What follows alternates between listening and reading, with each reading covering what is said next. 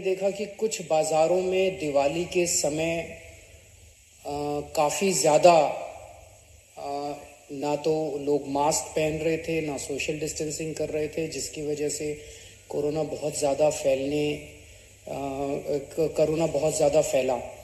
तो आ, आ, एक प्रस्ताव केंद्र सरकार को भेजा जा रहा है।